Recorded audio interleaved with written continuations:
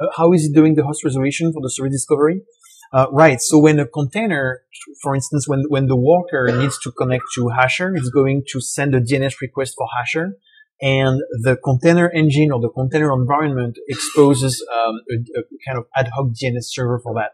So in the in the case of Docker, it's the Docker engine itself that will uh, provide that little embedded DNS uh, service.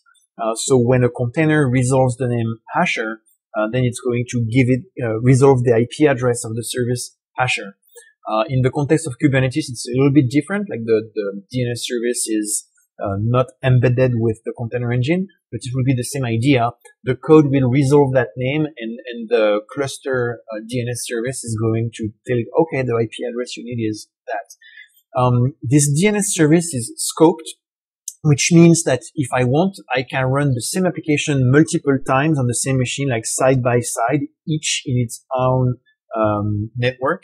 And then when uh, that stack is going to resolve the name Redis, it's going to resolve the IP address of Redis in that stack. Now, when the containers in that stack uh, resolve Redis, it's going to give them the IP address of Redis in that other stack.